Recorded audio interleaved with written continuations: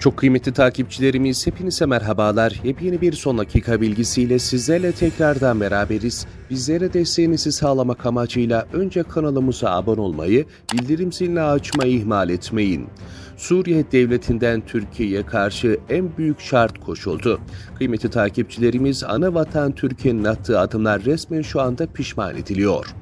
Suriye Dışişleri Bakanı Faysal Miktat, Ankara ile Şam arasındaki ilişkilerin yeniden tesis edilmesi amacıyla ana vatan Türkiye'nin Suriye'den çekilmesi gerektiğine dair bir takım açıklamalar yaptı.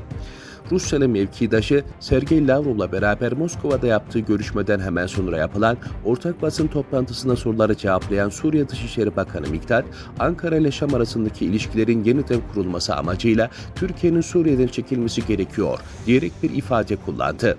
Miktat ayrıca Türk askerlerinin Suriye'den çekilmesi için harcanacak çabalar Suriye'de durumu istikrara kavuşturmanın tek yoludur.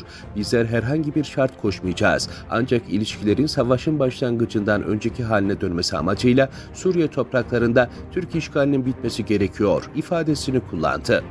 Kıymetli izleyenler bildiğiniz gibi anavatan Türkiye hiçbir zaman ABD gibi, Fransa gibi, İngiltere gibi yahut başka devletler gibi hiçbir ülkenin toprağını işgal etmemiş etmeyecektir. Ancak şu anda görüyoruz ki Suriye devleti bütün ülkesini bu hale getiren anavatan Türkiye'ymiş gibi bir takım açıklamalar yapıyor. Bizler de buradan şu soruyu sormak istiyoruz. Madem bu kadar ülkenizi düşünüyordunuz, madem bu denli anavatan topraklarınızı düşünüyordunuz, ABD topraklarınıza girdiğinde, Fransa, Rusya topraklarınıza girdiğinde yahut terör örgütleri PKK, PYD, YPG topraklarınızı işgal ettiğinde sizin bu vatan arzunuz neredeydi?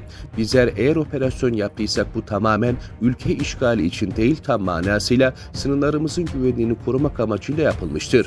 Bunun farkı çok büyüktür. Bir videomuzun daha sonuna geldik. İlerleyen saatlerdeki videolarımızda sizlerle takipçilerimizle buluşmak ümidiyle hoşçakalın, esenlikle kalın.